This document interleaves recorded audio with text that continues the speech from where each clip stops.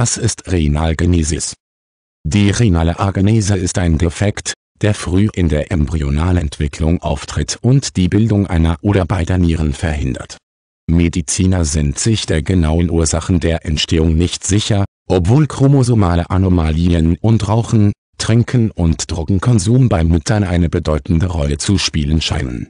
Die einseitige Nierenagenese, eine einzelne Nierenfehlstellung, ist häufig asymptomatisch und führt nicht zu schwerwiegenden medizinischen Komplikationen.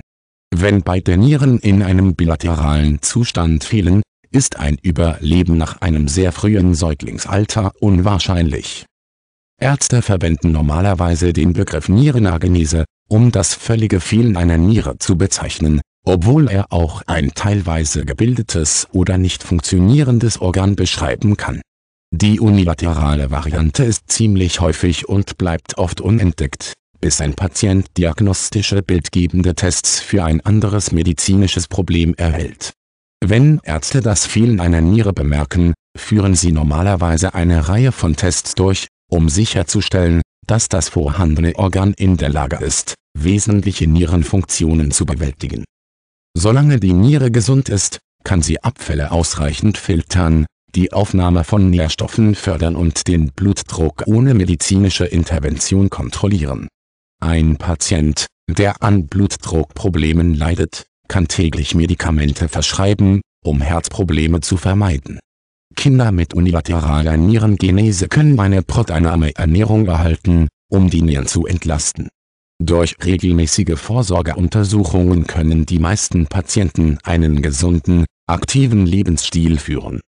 Die meisten Feten, die an einer bilateralen Nierenfunktionsstörung leiden, überleben nicht bis zur Entbindung, und Säuglinge, die geboren werden, werden wahrscheinlich nicht länger als ein oder zwei Wochen leben.